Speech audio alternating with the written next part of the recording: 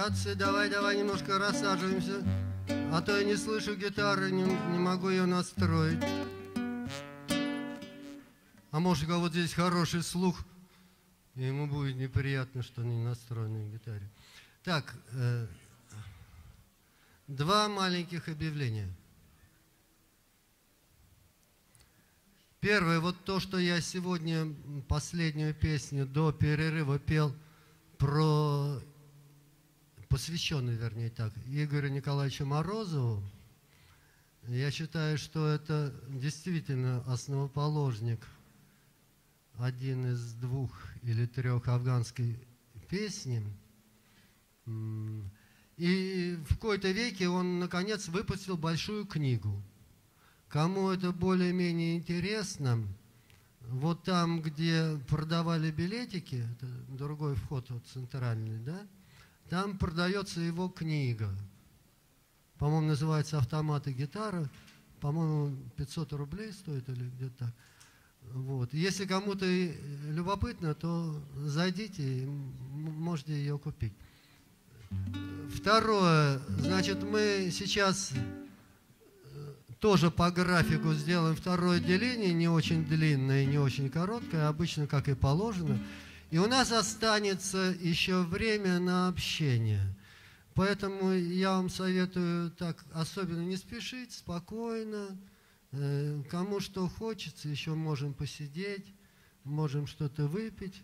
Девчонки нам э, скажут, когда уходить, если что.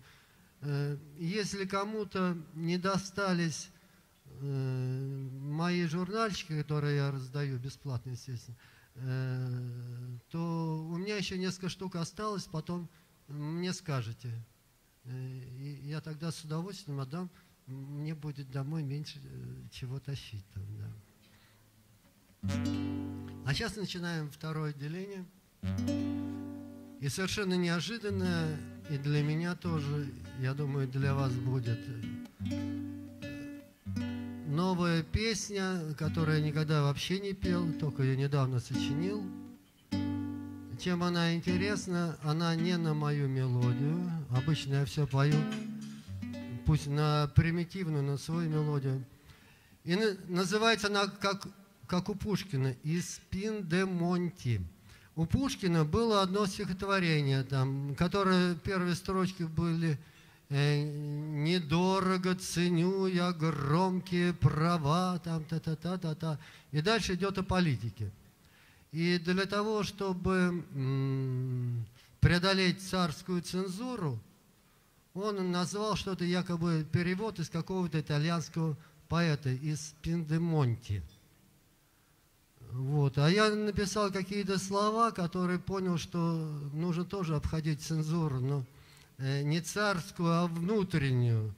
Потому что, в принципе, я человек крайне застенчивый, а песня достаточно, ну, скажем так, откровенная.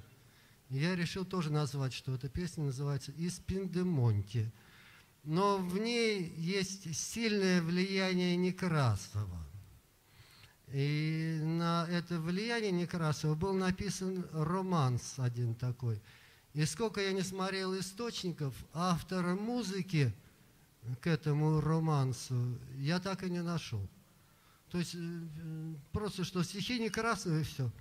А, поэтому моя песня называется «Из Пиндемонти 2. Музыка народная».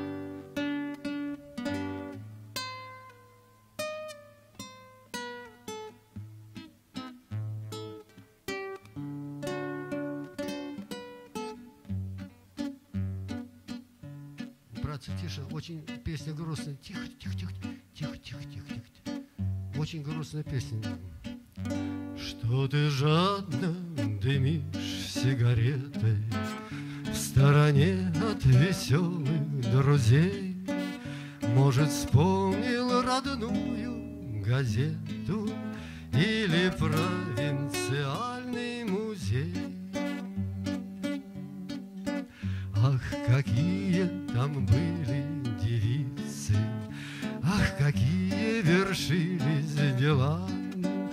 Как скакали твои кобылицы, Закусившие любви удела.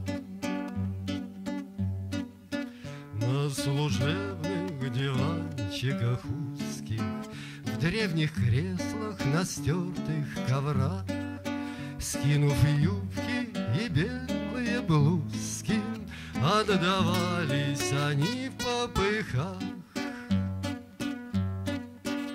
И на гребне застойной эпохи Вновь неслись, не страшась ни черта, Расточая и стоны, и вздохи, Опуская все ниже уста.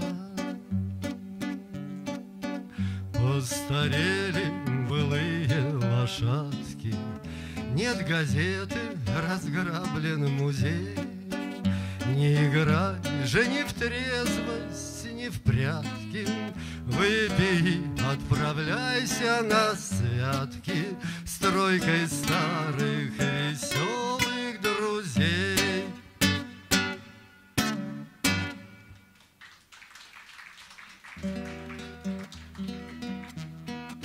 Где-то в начале 90-х собирались мы в городе Киеве – мы, это я имею в виду а, афганцам, и в том числе барды афганцам, и все было хорошо, но вот я уже почувствовал, что э, нас, афганцев, очень сильно кто-то подкупает и разделяет. И мерзавцы типа Генриха Авизеровича Боровика и всякая вот прочая нечисть – ребятам афганцам дали какие-то э, льготы, это самое, и прочее, и они многие стали бандитами. Но, кстати, вот интересно, офицеры, никто практически не шел в бандиты, солдатики неустойчивые. И что-то меня тогда уже насторожило. Я написал песню, которая называется «Братья по войне».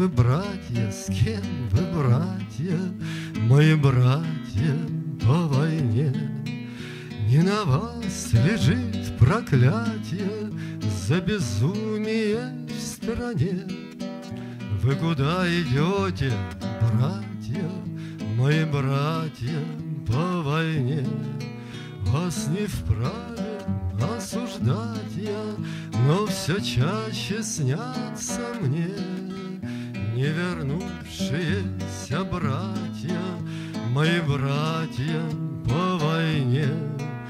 Да, одеждой и статью Мы такие же вполне. Отчего ж так стыдно, братья, Перед снимком на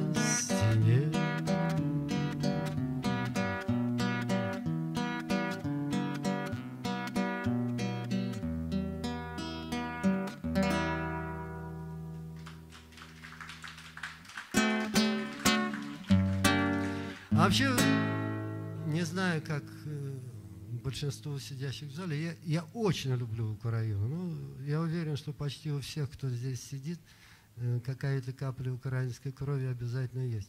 А я как-то особенно люблю Киев. Вот я в детстве туда попал, и потом ездил. И так это мне все нравилось. А потом вот вроде узнал, что э, ребята, с которым вот тоже то, что я «Братья по войне» пел, мы вместе выступали, а сейчас смотрю и узнаю по интернету, что они поют там э, в этой зоне АТО для, так сказать, украинской службы безопасности, то есть для наших врагов. Думаю, вроде, с одной стороны, какие сволочи, да, как они могли. А вот одна девочка, молодая журналистка, красивая, которая обычно ходила на наши выступления, сегодня не пришла, да, вот, она ездила туда, на Донбасс, в Луганщину, и она интересную штуку раскопала, что оказывается, когда вот там реально происходит обмен убитыми и пленными, то это делают именно афганцы, с той и с другой стороны. Потому что афганцы друг другу доверяют, а остальные никто никому не доверяет. Да? Вот, короче говоря, у, у меня была такая песня тоже после Киева написана от имени э, человека из Киева.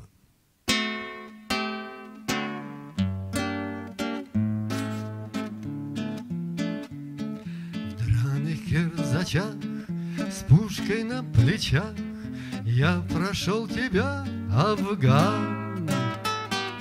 В солнечных лучах, в ледяных ночах Снился мне зеленый Анкабу, Ташкент И далее на Киев, где заждались Крещатик и подол Оксана М и многие другие, которых я пока что не нашел.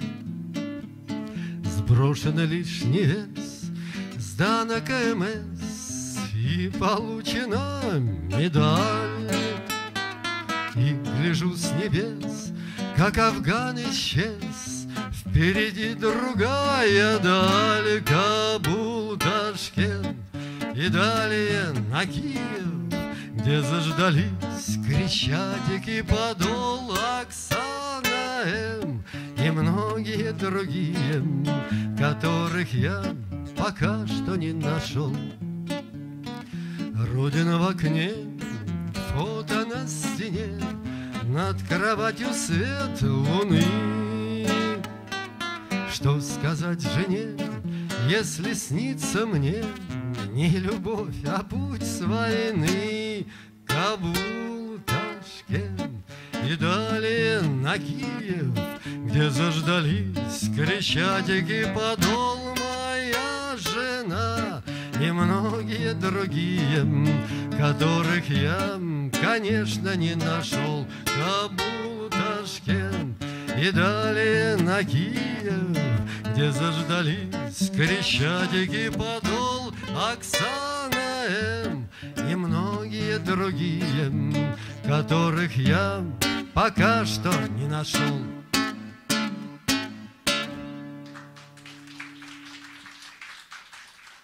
Саша Леник, ты доволен? Ты же украинский националист, как и я. Ну вот. Почему? Нет, обожди. Ты не понял, эта песня называется «Путь с войны», как я возвращаюсь домой. А, ну а другой, да.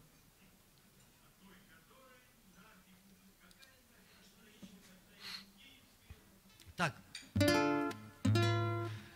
давайте еще раз вспомним. 25 лет начала первой чеченской кампании – Какая была тоска, я не знаю. Вот здесь только, может быть, Виталий Иванович Бенчарский, я его представлял, еще раз представлю. Это человек, советский полковник, который больше 300 наших пленных солдатиков вытащил оттуда. Вернул матерям, женам, да. Но вот это было в первой чеченской кампании. Когда она закончилась, было чувство глубокой тоски. Понимаешь, потому что еще и наши пленные все-таки там оставались. И понятно, что нужно было еще раз. Вот я вам просто вот это как бы свидетельство времени. Вот то, что я написал, но то, что, думаю, многие чувствовали. Смерти тоже не боялись, но как не выполнить приказ? И мы ушли, а вы остались, Остались умирать за нас. Просить прощения не вправе, Мы видим в яве и во сне, Как мы уходим, вас оставив поругание в Чечне. Прощения нет, но мы клянемся, Когда Бог поднимутся верхи. Мы к вам вернемся, мы вернемся, Чтоб нашей кровью смыть грехи И в грозный день последней битвы Вы с нами встанете в строю Своим явлением и молитвой Прощая родину свою. И в грозный день последней битвы Вы с нами встанете в строю. Своим явлением и молитвой Прощая родину свою.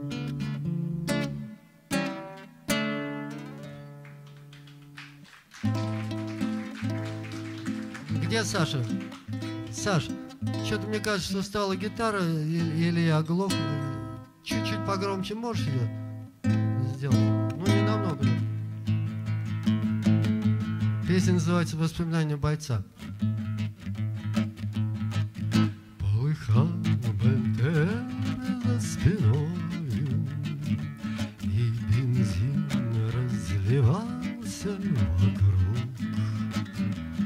И навеки прощался со мною Настоящий не песенный друг Настоящий, живой, опаленный Непридуманным жарким огнем. Рядовые без лычек погоны Покоробившись тлели на нем Но подробности вам не расскажут Ни комдив, ни начпом, ни комбат. Только место на карте укажут где отмучился этот солдат. Да и мы с ним простились лишь взглядом, Когда полз я к живому огню. Если вы с нами не были рядом, Как же это я вам объясню? К сожалению, это не песня, это бы, это бы, это бы. Под Гортезом мы рухнули вместе В придорожную жаркую пыль.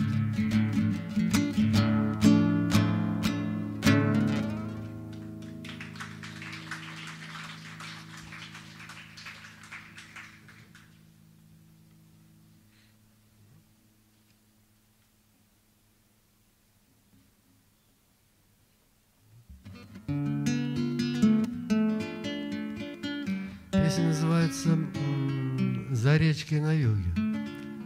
Это такое возникло, я не думаю, что от меня, но возникло устойчивое словосочетание. Да. Афганистан – это значит «за речкой на юге». А мне еще одно, знаете, почему запомнилось? Была такая в конце советских времен популярная телепередача «Взгляд». Э, И вот меня как туда, значит, пригласили, затащили, конечно, я не очень хотел, но затащили. И, и какой-то... Ну, в общем, короче говоря, я должен был выступать э, с гитарой, это все-таки петь э, в прямом эфире, это тяжело, да? Это... А, по-моему, был какой-то день, 23 февраля или что такое-то. Они говорят, ну ладно, вы, вы там споете там, да, и все там, да-да-да-да-да-да-да. Потом смотрю, 10 часов, 11 часов, 12 часов. Пошел первый час ночи. Я говорю, ну а вы меня когда? Ну, мы вас выпустим, выпустим. То есть они, наверное, ожидали, что я там перегорю совсем, да. И я решил из принципа, из принципа просто спеть самую сложную песню, да. И я ее спел, и вроде получилось. А песня такая, «За речкой на юге». Завалы, заслоны, засады, Барханы, сугробы, ветра. Наверное, забыть это надо, но помнится, словно вчера. Страна, что за речкой на юге, как мы ее звали подчас, останется песня о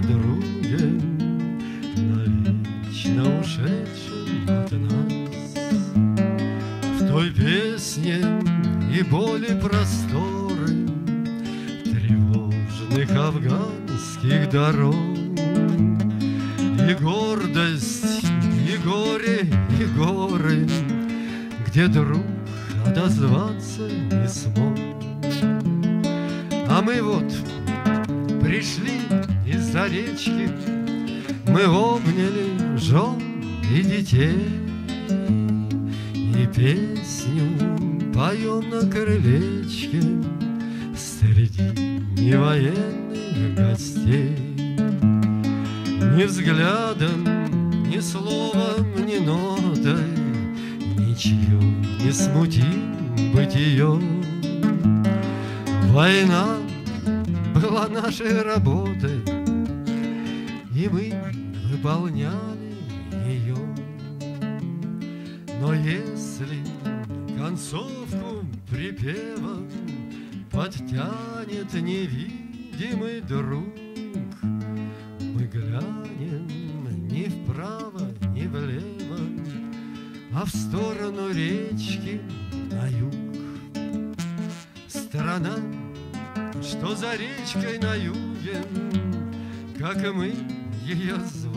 подчас, Останется песни о друге, Навечно ушедшим от нас.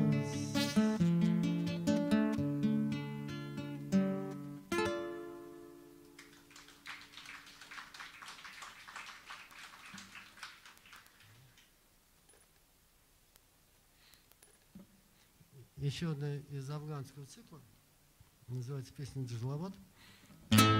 Чем интересен Джалабад? Он довольно близко от Кабула, но Кабул стоит в горах на высоте примерно 1800 метров. И зимой в нем очень холодно, очень. А Джалабад стоит за горами, но внизу. И там зимой очень тепло. Вот улетаешь совершенно близко от Кабула до Джалабада, и, а там совсем другая жизнь. Днем ветер, ночью снегопад, морозные рассветы, а мы летим Джалалабад, Джалалалабад летом. Эвкалиптовых ветвях Большие, как сороки, Десятки желтогрудых птах Устраивают склоки. Там берега реки Кунар Травой покрыты сочной, И над водой молочный пар Восточной дышит ночью.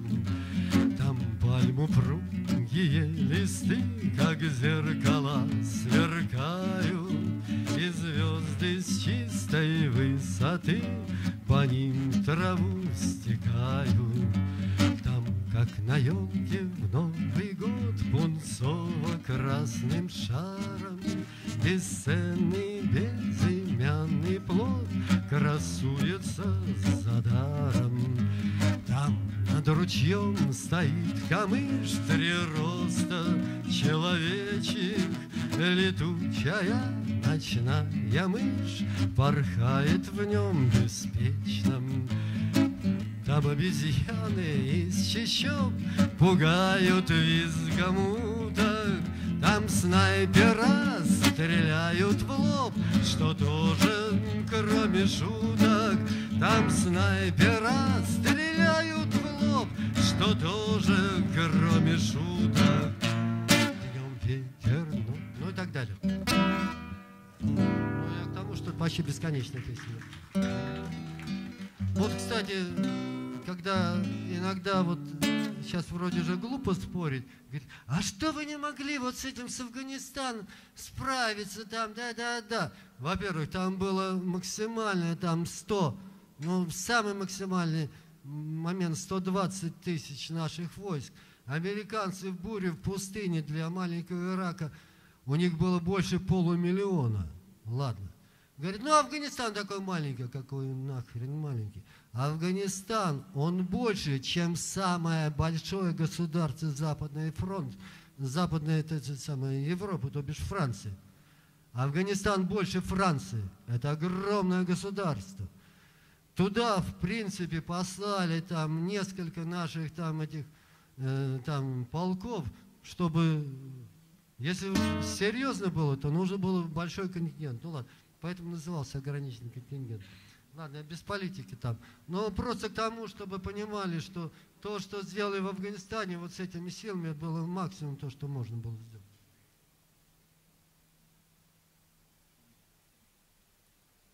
Так, братья, сейчас будет тихая песня. Я обещал возвращаться как-то не то, что к ракетным войскам, а к нашим молодости. Потому что когда мы были курсантами в 70-х годах, и все казалось, вот, говорит, вот, советские времена, ничего было нельзя. Вы там жили типа как ублюдки там, а теперь у вас свобода. Такой свободы, какая была в 70-х, 80-х годах в Советском Союзе, это даже придумать нельзя. Сейчас мне, где я ступить, нигде не могу. Я не могу ни закурить там, не выпить там, ни к женщине подойти, потому что меня обвинят в сексуальном домогательстве. И вообще ничего не могу. Я живу как ублюдок там. А вот в принципе, эти 70-е годы, это же было время свободы. У меня песня была такая про первые курсантские свидания. Вот тоже там, типа армии, вы ничего. Да пили мы, и курили, и с девчонками встречались, и в самоволку ходили, и все-таки хорошо служили. И все как минимум до полковников дослужились там. Да. А у нас была первая казарма на Софийской набережной, правда, она называлась набережная Мариса Тореза. Сейчас я опять Софийская стали. И тогда было там еще посольство Великобритании. Его сейчас перевели, кстати, куда-то там. Вот.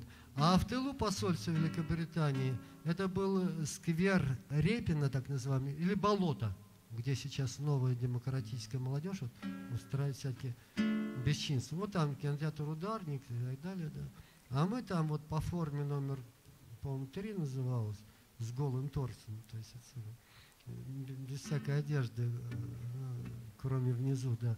Мы там на зарядку бегали. Естественно, в знакомые места устраивали там свидание с девчонкой. Вот такая песня.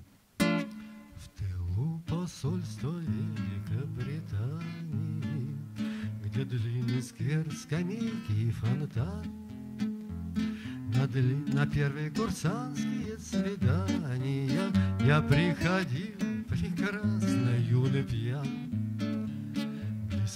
Без памятника живопису Репину Скамеечка стояла в темноте, Волнительней не помню свиданий в жизни, чем свидание тем. Московская, холодная, холеная, Девчонка издевалась надо мной, Чтоб через час прикинуться влюбленною Перед казарменною проходной. Ей нравилось, наверное, многолюдие, Хмельные голоса со всех сторон. Эй, девочка, с какой ты киностудии, братан, отдай ее в наш батальон. Не знаю я, с какой ты киностудии, отдам тебя в соседний батальон. Тогда со страстью, будто в самом деле шней, Она приподнималась на носки, Закидывая на мою шинелишку Две белых горностаевых руки И прижималась бедрами упругими Что-то обнимала и и целовала в губы, не стыдясь, чтобы юнцы военные с подругами завидовали, видя нашу связь. Я иногда хожу за Москворечье, Сажусь на ту скамью, когда пуста, И вспоминаю, будто помнить нечего, Ее перед казармою уста. И вспоминаю, что ж не вспомнить нечего, Ее перед казармою уста.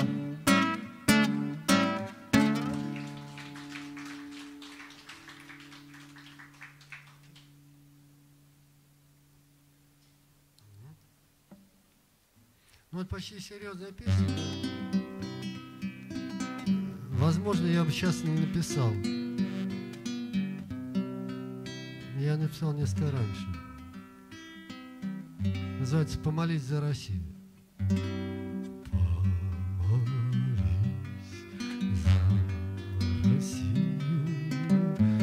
Гильзах сплющенных огней затепли,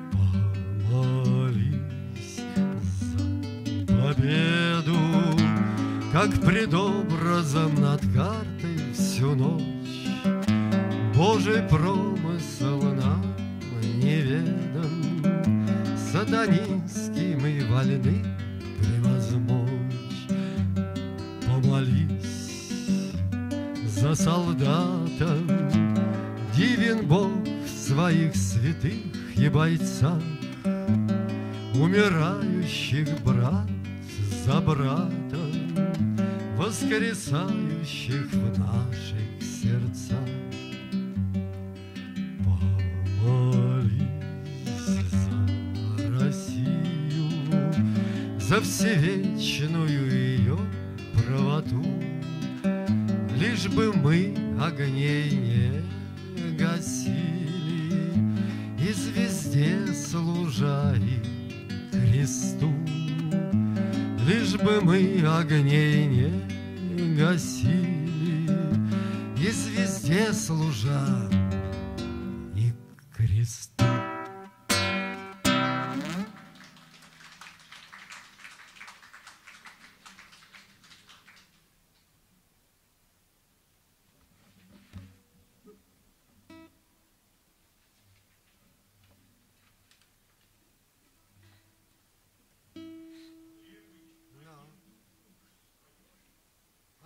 что такое Гендуков. Тогда ты и спой.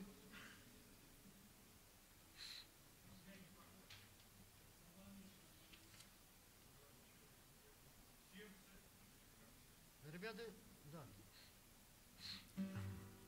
Я думал об этом, знаешь. И все-таки, если я буду петь э, заказы из зала, то я каждый раз буду петь одни и те же песни. Я, да. Ну, давай договоримся так. Кстати, следующая встреча у нас, кто захочет, это примерно середина апреля. Точную дату мы не знаем, но примерно так, 15-16. Это будет обязательно суббота, обязательно в 3 часа, потому что лично мне это нравится, не знаю почему. Потому что после этого можно еще спокойно выпить. А это самое, а, а воскресенье э, не надо идти на работу, да, и вам тоже. -то. Вот. То есть это будет где-то в середине апреля, тогда я обещаю, Вадим, а, голос, кстати, Вадим Акулов, это бывший наш э, партийный советник в Афганистане, а потом собственный корреспондент э, газеты «Правда» в Афганистане. Вадим, когда я закончу, надеюсь, ты почитаешь стихи. Э, так, у нас осталось э, сейчас по, по плану пять песен, мы это сделаем.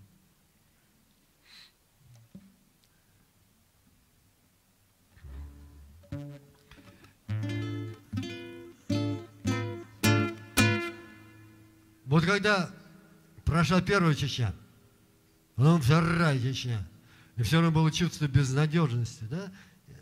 А потом как-то все отлегло. Вот я вам сейчас пою две песни. Э, просто сравнить так это.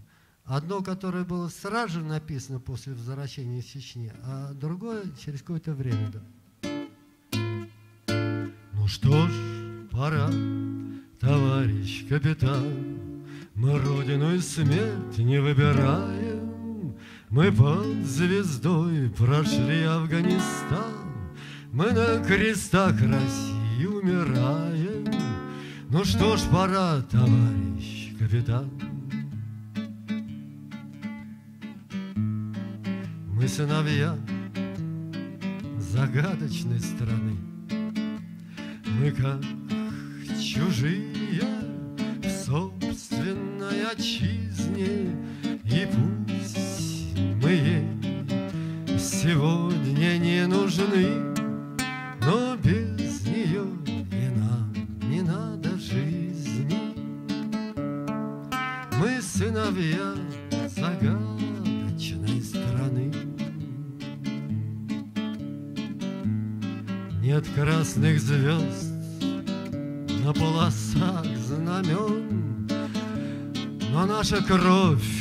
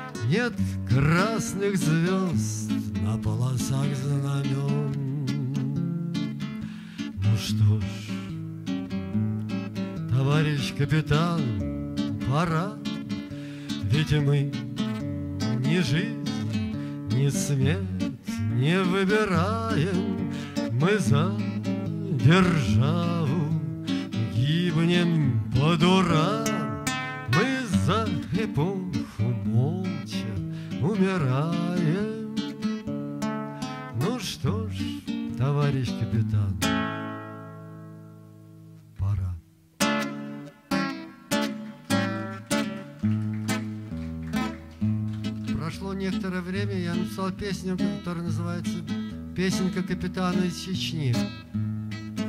Вот и весь служебный рост На погонах восемь звезд. А хожу все годы в командирах взвода.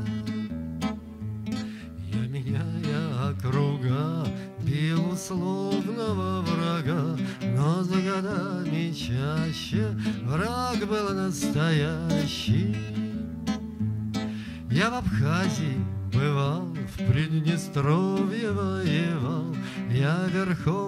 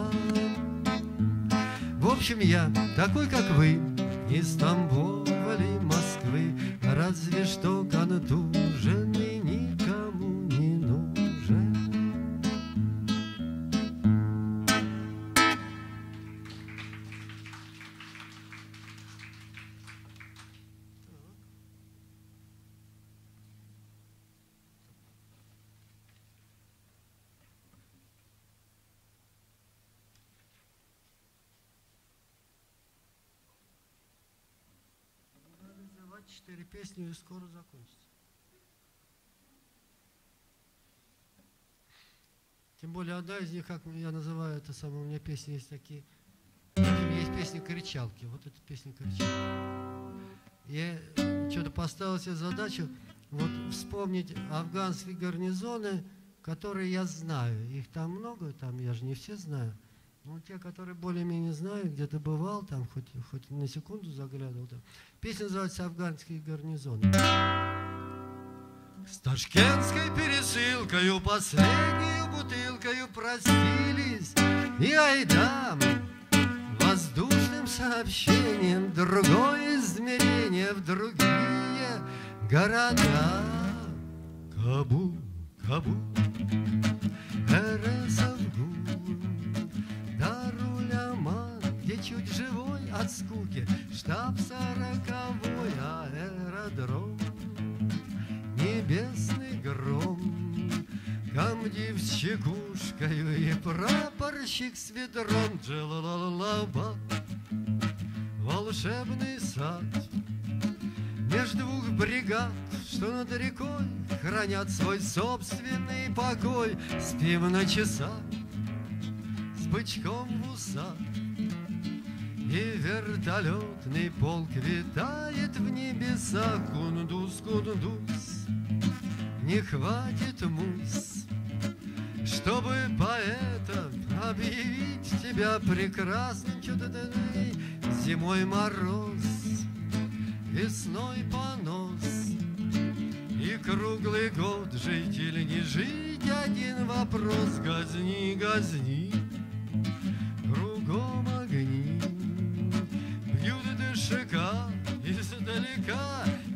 И миномет из бугорка Бери за ум. Гони ханумом Без темноты. Она не стоит этих сумм Гордес, гордес Пыль до небес. Качают духи головой Перед бригадой штурмовой. Мол, за рубли В такой пыли Мы сами духи продохнуть бы не смогли. Шиндан, шиндан Здесь мало банд. А тот, кто этому не рад Пусть отправляется в Герат. Но здесь, глянь госпиталя, Где много баб, а с ними пухом нам земля. И Кандагар, сплошной угар На черной площади броня горит среди ночи и среди дня Но за углом аэродром Где нас не взять, где ждет нас прапорщик с ведром.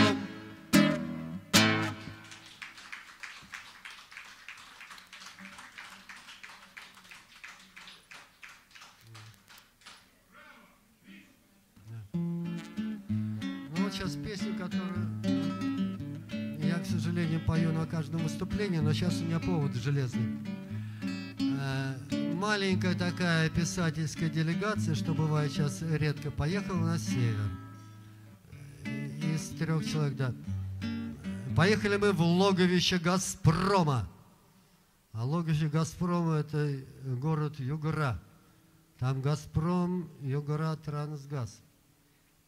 Ладно, полетели мы туда. Потом еще нужно было ехать где-то 8-9 часов на машине.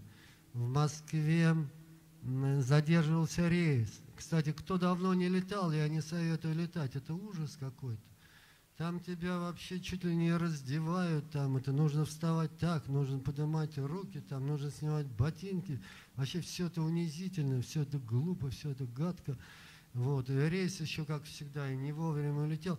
Короче, когда добрались туда, до города Югорска, полностью ошалелась какая-то там. Но нас поселили в Виповскую Газпромовскую гостиницу. Вхожу в свой номер, там какой-то зал такой огромный, там не двери, а ворота. Открываю я ворота, а там собака сидит. Вот такая собака. А я ошалевший с такой с дороги, вообще ничего не понимаю. Думаю, может, у них так принято там, с собаками встречать. В общем, прошло, наверное, секунд 30, пока я понял, что собака-то не живая. Это они, оказывается, «Газпром», они так выпендриваются, понимаешь? У них должен быть номер с собакой. Там, какая-то фарфоровая собака вот такой величины. И я, конечно, сразу же вспомнил свою песню «Нюрка», потому что собака была раскрашена под овчарку.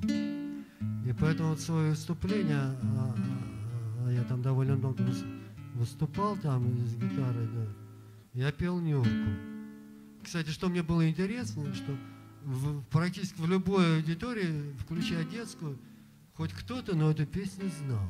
И ко мне подходили, говорят, а вот там типа, вот, да, вот мы стихи знали, это не знали, что это песня. Или, а вы вроде где-то по записи по-другому пели. Но у меня еще есть второй повод. Я сегодня хочу вспомнить Виктора Павловича Куценко. Это был такой генерал, художник, э, советник э, инженерных, по инженерным войскам в Афганистане. Замечательный человек. И однажды вот в санатории «Русь», который был и сейчас, с помощью отдан афганцам, э, он оформлял музей, и там очень много его картин. Вот мне показывает одну картину. Я говорю, очень хорошая картина. Говорю, ну что-то здесь какие-то знакомые лица. Так эта говорит, картина называется «Нюрка», а там сидят у костра, там это, двое человек, около них лежит собака. Говорит, кто сидит? Я говорю, да, один вроде вы, говорит, а второй это ты. Э, вот. То есть он нарисовал такую картину.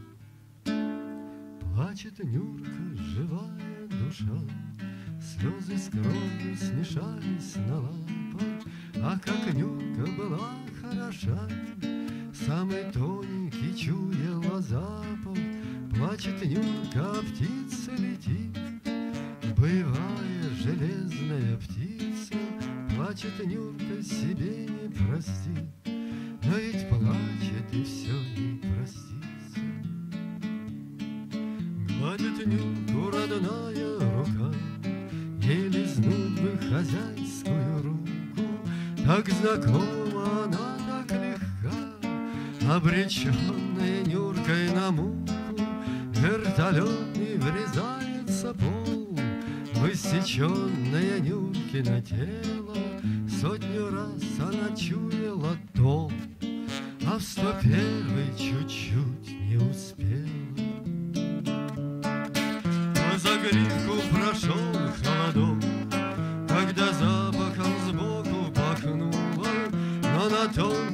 Стальной по расщелине лапа скользнула, И взметнулся огонь из камней, И запахло железом каленым, И хозяин, идущий за ней, Опустился на землю со стоном, И ползла к нему Нюрка ползла, И лизала его, и лизала, И хрипела на звала, И глазами всю боль рассказала, Подбежали к саперу друзья, Обмотали бинтами сапера. Он сказал, не без Нюрки нельзя.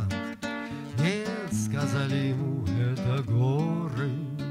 Вертолет прилетел поутру, Их вдвоем погрузили в машину. Ты не плачь, Нюрка, я не умру. Ты не плачь, я тебя не покину, Но плачет Нюрка живая душа. Слезы с кровью смешались на лапах, Ах, как Нюрка была хороша, Самый тоненький чуяла запах.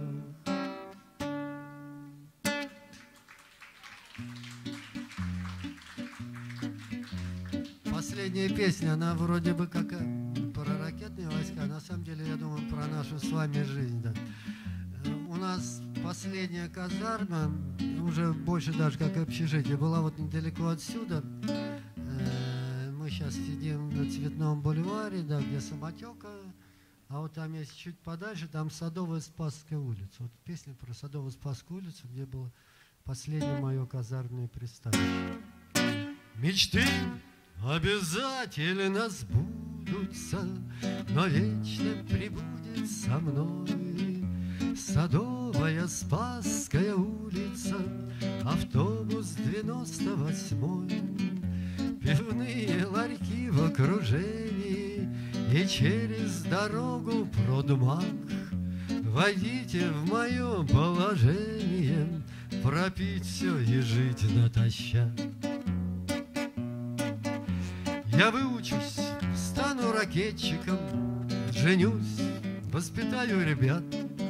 Над жизнью своей искалеченной Расплачусь я вдруг не в попад. Жена удивленно нахмурится Я выпью и снова со мной. Садовая Спасская улица Автобус 98 Мы люди по-своему дошлые Советские экс-юнкера. Да здравствует светлое прошлое Туманному завтра ура. Претерпится жизнь и прилюбится Жаль, юность порвется струной.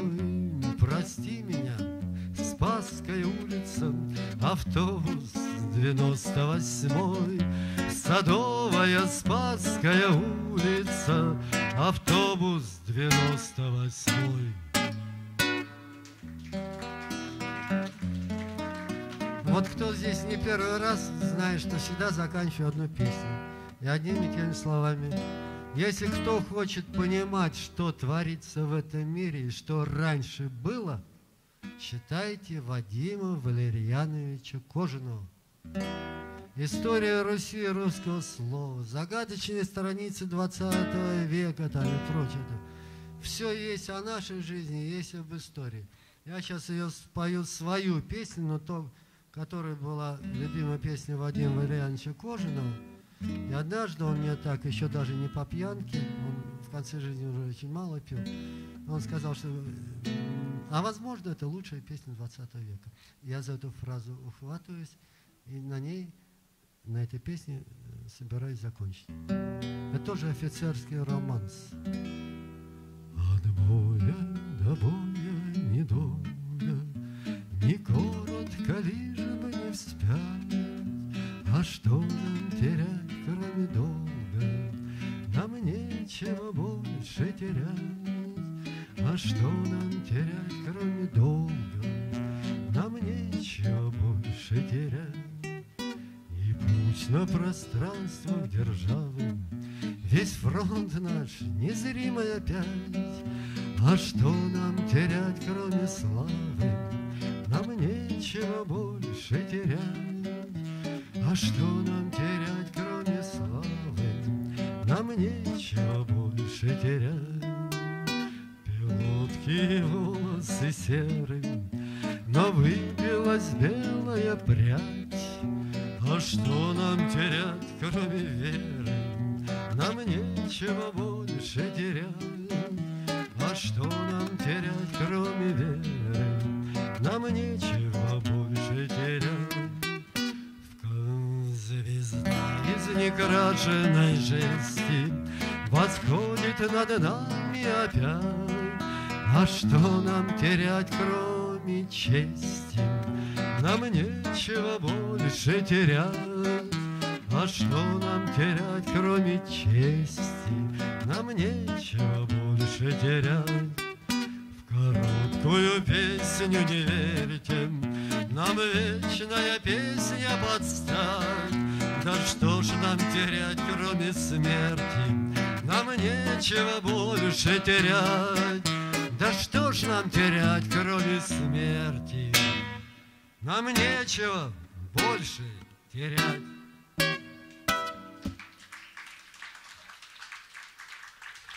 Спасибо, друзья. Еще раз напоминаю, возможно, в апреле встретимся. Во-вторых, давайте не разбегаемся, спокойно сидим. Кому еще не достали журнальчики, я с удовольствием сейчас через несколько минут отдам. А сейчас сидим спокойно, да. Ну, кто спешит, тот спешит. Спасибо еще раз всем. И да, кто хочет свободный микрофон, вон, Вадим Акулов –